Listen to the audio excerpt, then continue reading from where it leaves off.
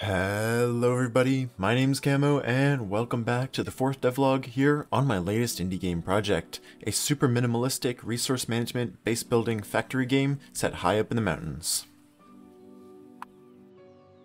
Now this week has been a bit of a crazy one. I've gotten tons of stuff done as you can see here on the Trello board, and I've actually made some pretty major changes to the game, including scrapping a lot of the mechanics that we did in the previous weeks, unfortunately.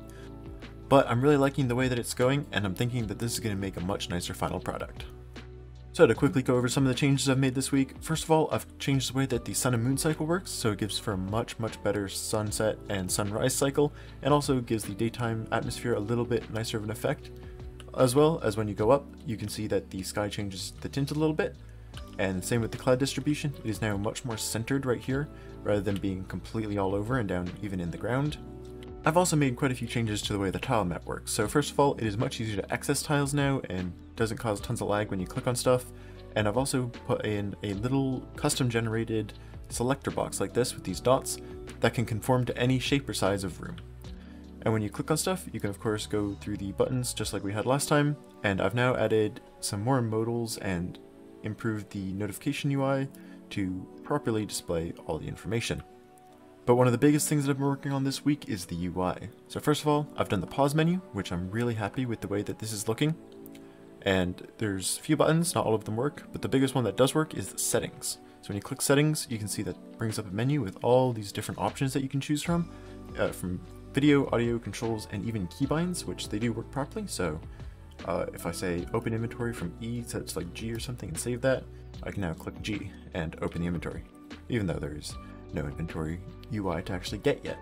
But they all work properly, and you can even change languages stuff when we add new languages.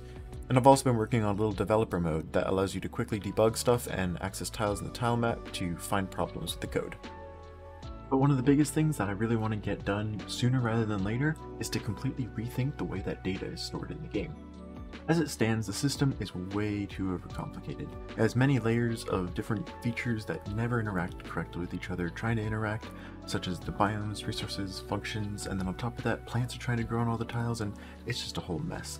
The way I'm going to fix this is by instead of using a bunch of random classes all intermingling, using a list of properties on each object. And all these properties can be completely standardized and duplicated throughout all the objects, and I won't have to worry about none of them actually matching up together because they're all different types. But no doubt, this system is going to be an absolute pain in the ass to implement, so without any further ado, let's get to it.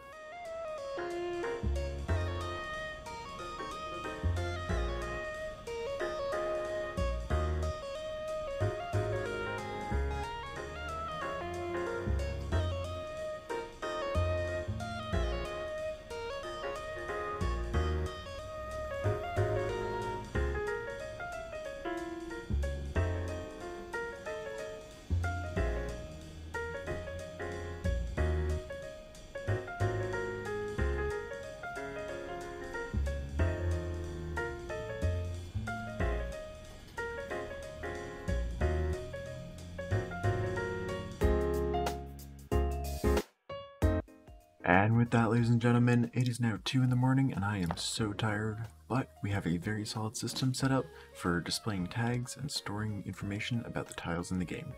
So the way it works is that when you click on a tile, you can go to inspect it, and instead of just showing you nothing now, it actually shows you some tags about it that displays information. So for instance, this piece of bedrock here is in the mountains biome, and it is made out of stone, which you can see by the two tags represented here. And when you click on the tags, you can see a little information bar pops up here, and you can put in some custom descriptions about it. But I haven't actually added many tags yet, so in the future, there's a lot of flexibility for adding new content to the game. But in any case, we made tons of progress on the game this week, and I'm super excited to see just how quickly it's progressing along. This game is turning out to be something really, really spectacular. But anyway, if you guys did like this video, make sure you give it a like, and if you really loved it, maybe even consider subscribing. But anyway guys, this has been Camo, and I'll see you in the next one. Peace.